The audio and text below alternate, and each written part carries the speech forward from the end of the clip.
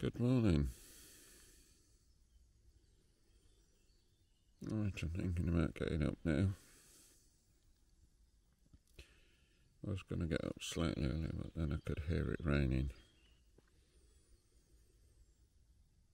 Only light rain, but now it seems to have stopped. Didn't have the best night's sleep.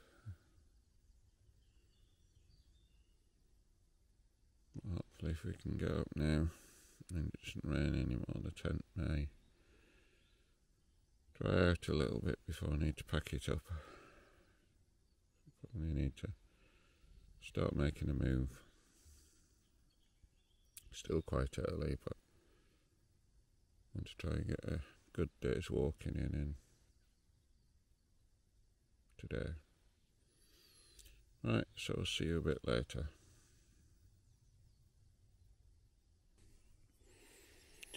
As you can see, I'm all packed up, ready to go.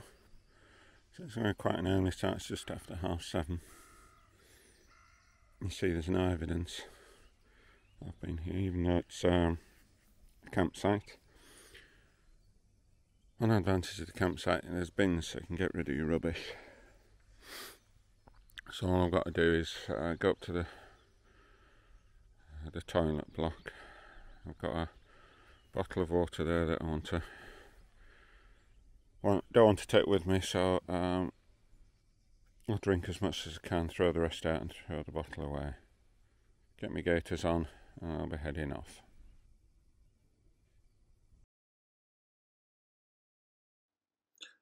This is a handheld shot taken as I walked into Coniston from the campsite. I thought it was um, a nice view so I took the picture, um, but obviously there was no recording uh, or video of this at the time.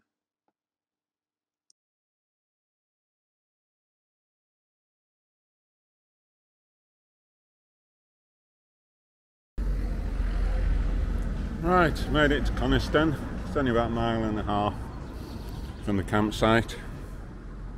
In a sense, this was the, the end of the first day, so that works out about right because I did 15 miles, mile and a half, 16 and a half miles. So, right, that's the way we're going down there.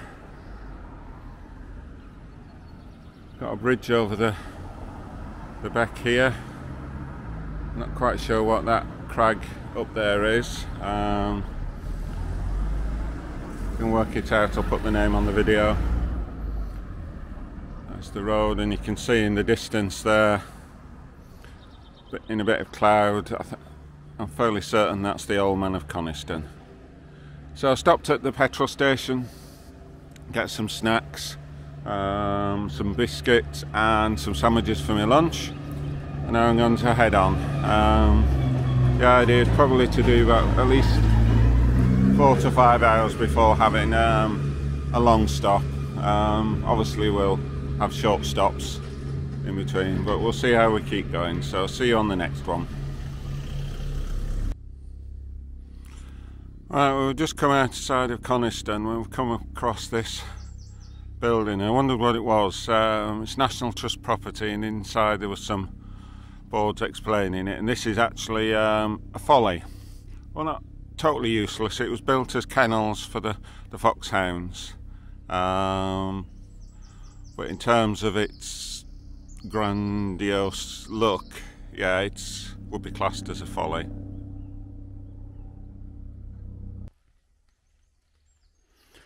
Right, just had a bit of a stop.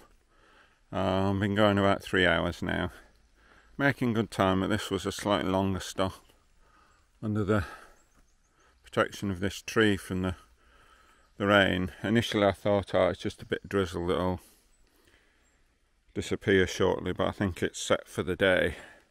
I don't put my waterproofs on because it's not it's not that bad but I've reorganized the bag um, to try and make sure everything inside stays dry. Uh, I'm not going to put the outside cover on at the moment but um, we're on this path here supposedly takes us to a waterfall so we'll see what happens. It's not so much fun when it's it's wet. Been past Tarn Hows but didn't really take any pictures there. So I'll carry on seeing what this waterfall's like, whether it's it take any pictures. So I'll see you on the next one. Right, well we found the waterfall. It's very steep to get down and I don't think it's spectacular enough to to warrant going down. So I don't think we're going to take any pictures. Would have been nice because waterfalls are not as dependent on the light and the weather. But um, yeah, you can see the path going down. I mean, it would be possible to get down, but and the main purpose of this walk is to get the Cumbria Way done. Uh, to get pictures if we can, but uh, I just don't feel um, that we're going to get any decent pictures from from here today. Right, well I've made it to Skelwith Force. Um, and seeing as it's such a good waterfall, been going about four hours, I thought I'd have a longish stop here, have my sandwiches that I bought in Coniston uh, and take some pictures. So you can see there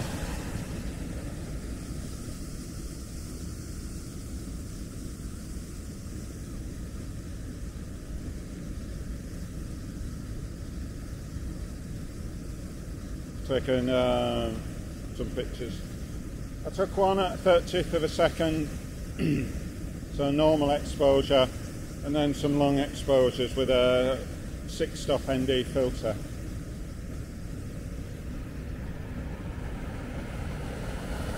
I varied the shutter speed, so I did one about a second, two seconds and three seconds, just to see which comes. Whichever is best, I'll put it up on the video after this. So I'm going to put the camera back in the rucksack, get sorted, have, maybe have a bit more rest, a bit to drink, and then we'll carry on.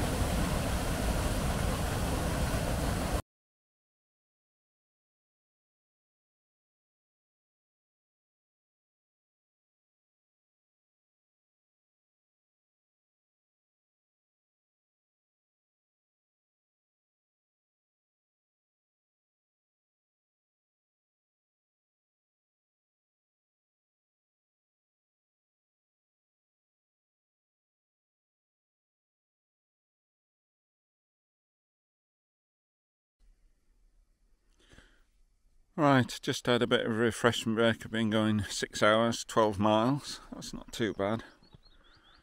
I'd like to have got here a little bit quicker, but uh, I've had one or two stops. I hopefully got some photos, so. And we're going, this is Great Langdale. And then somehow we go up there, yeah, not quite sure whether the footpath goes maybe round and up uh, we'll have to see. But um, next stop with the old Gale should be there by th within the hour, I would have hoped, and maybe have a, quite a long stop there before. Heading up the mountains to where I'm going to camp tonight, so don't know whether we'll get any more pictures. Uh, I have a feeling once we get up to the top we're going to be in the clouds, so see you on the next one. Right, we've had quite a long stop here at the Dungeon Gill, old Dungeon Gill. Now I'm going to head up to Stake Pass, where we're going to camp out. Had soup and a roll, so that'll boost the energy. So um, we're just going to head off back. I have a feeling by the time I get up to our I camp, I'll probably be in the clouds. So, but uh, because it was a long stop, I actually turned my GPS off. So so turn it back on and we'll carry on. Right, we're just having a, a short stop, a bit of a rest. Hopefully we'll get to the, the time I'm going to camp within the next hour or not much more, we'll see. But there's the valley we've come along and come up. It's quite a slog up here. Done nearly 16 miles.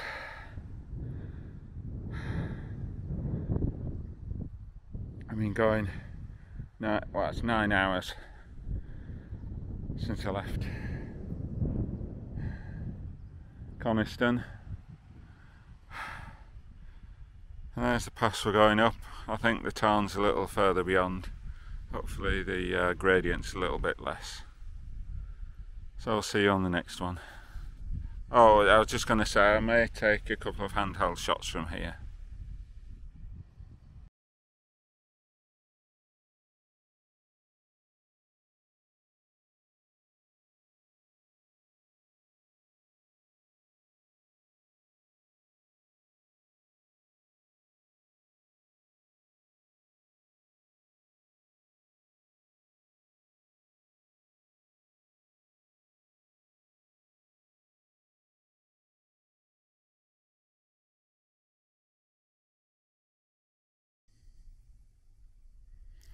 Right, we've arrived on the top of Stake Pass.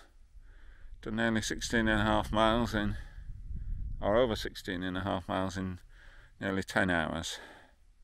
That's not too bad. And here is the tarn.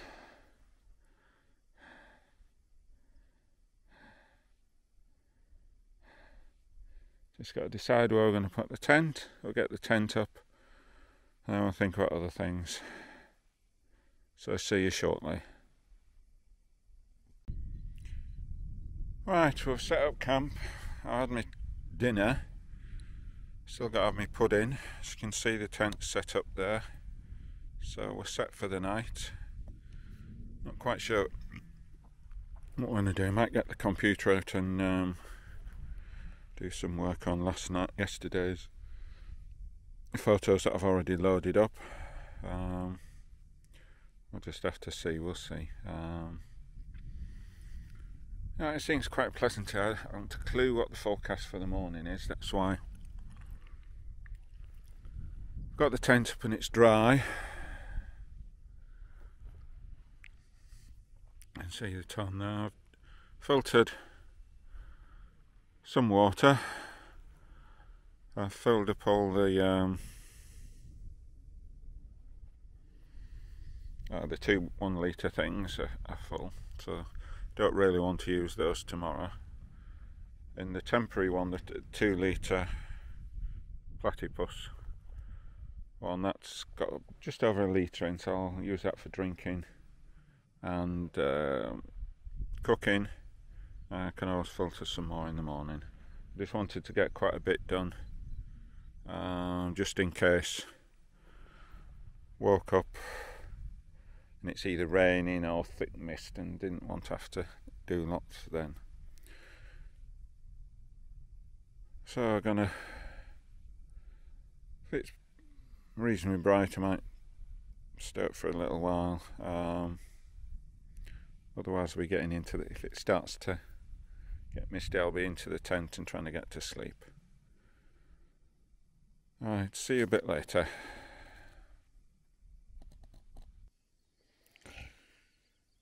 Right, it's gone eight o'clock and I'm going to try and get to sleep now. I'm quite tired. I did process um, all the pictures from yesterday a little disappointed that there's nothing in it, anything particularly stunning. Um, but maybe the waterfall ones from today will be quite good and hopefully get something tomorrow going around the lake, etc. Did start to rain, so I did uh, come inside